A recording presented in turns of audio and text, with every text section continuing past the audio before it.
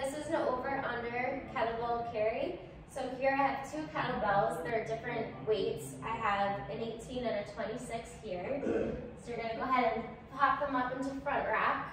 The heavier kettlebell is gonna stay in a front rack position. And then with the lighter one, I'm gonna go ahead and punch my arm overhead. Notice I'm squeezing tight through my core and keeping my elbow nice and close to my ear. So I'm gonna go ahead and go for a walk, keeping that nice tight alignment. Notice my arm's not coming out like that. I'm really trying to squeeze it in straight above. When you get all the way down, you're gonna go ahead and bring those down and switch sides and hit the other side.